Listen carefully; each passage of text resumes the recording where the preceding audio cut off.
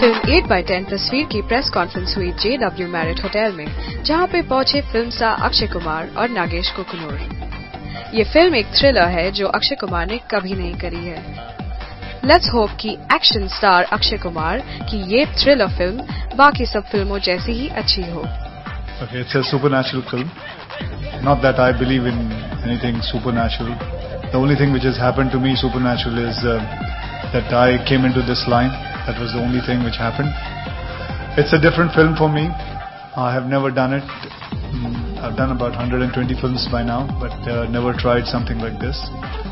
And uh, it was a script which was uh, there in front of me, and I liked it, and I wanted to do something which I've never tried it, which didn't have any comedy, which had very less of action. So this was there. Agar if you like thriller and if you like getting scared, go and watch it. If you don't, send you better home.